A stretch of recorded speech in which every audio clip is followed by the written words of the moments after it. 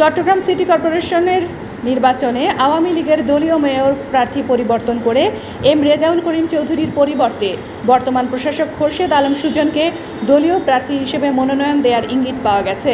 এ সংক্রান্ত সরকারি বিভিন্ন সংস্থার প্রতিবেদনও প্রধানমন্ত্রী কার্যালয় এবং দলীয় হাইকমান্ডের কাছে পাঠানো হয়েছে বলে একটি সূত্রে জানায়। বিশেষ করে করোনা ভাইরাসের মহামারীতে মেয়র প্রার্থী রেজাউল করিম চৌধুরীর ভূমিক নিয়ে রেজাউল করিম চৌধুরীর ভূমিকা নিয়ে দলীয় নেতাকর্মীরা চরম হতাশ ও নগরবাসীও অসন্তোষ এবং মেয়র নির্বাচিত হলে চট্টগ্রাম সিটি কর্পোরেশন পরিচালনা করা তার পক্ষে কঠিন হয়ে পড়বে। এছাড়াও শুরুতে দলের অধিকাংশ নেতাকর্মী পক্ষে থাকলেও বর্তমান সময়ে খোরশেদ আলম সুজন প্রশাসকের দায়িত্ব পাওয়ার পর সুজনের জনপ্রিয়তা ও গ্রহণযোগ্যতা রেজাউল করিমের তুলনায় সুজনের বহু বেশি বলেও উক্ত প্রতিবেদনে উল্লেখ করা হয়েছে। খোরশেদ আলম সুজন নিজেই দলীয় মেয়র প্রার্থী হিসেবে নির্বাচন করতে আগ্রহী। চট্টগ্রামে এ যাবৎ সরকারের যত মন্ত্রী চট্টগ্রাম সফরে এসেছেন, তারা সবাই সুজনের প্রশংসা করে গেছেন। জানা গেছে, চট্টগ্রাম মহানগর আওয়ামী লীগের সহসভাপতি ও চসিক প্রশাসক খোরশেদ আলম সুজনের পক্ষে রবিবার মোহাম্মদ আরাফাত নামের এক ছাত্রলীগ নেতা খোরশেদ আলম সুজনকে মেয়র হিসেবে দেখতে চাই একটি পোস্ট করলে।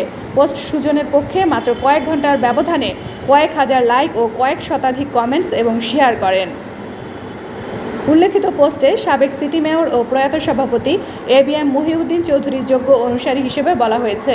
এর মধ্যে ছাত্রলীগ, আওয়ামী লীগ, যুবলীগ, আওয়ামী লীগের অঙ্গ সংগঠন ও সহযোগী সংগঠনের নেতাকর্মীরা বর্তমান মেয়র প্রার্থী রেজাউল করিম চৌধুরীর পরিবর্তে খোরশেদ আলম সুজনকে মেয়র প্রার্থী হিসেবে মনোনয়ন দেওয়ার জন্য প্রধানমন্ত্রী সহ দলীয় হাইকমান্ডের কাছে দাবি জানান। গত পাঁচ আগস্ট প্রশাসক হিসেবে নিয়োগ পান চট্টগ্রাম মহানগর আওয়ামী লীগের সহসভাপতি খোরশেদ আলম সুজন। চর্শিকের মেয়র আজম ও নাসির উদ্দিনের মেয়াদ শেষ হওয়ায় একদিন আগে এ দায়িত্ব নেন। বিএনপি দলীয় মেয়র প্রার্থী হিসেবে রয়েছেন doctor Saadat Hossain.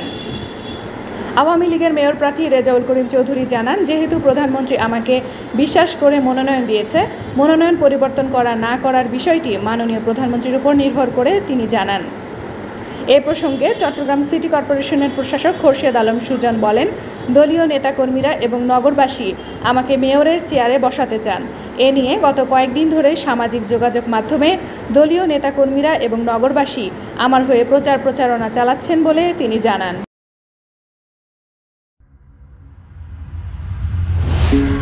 thank you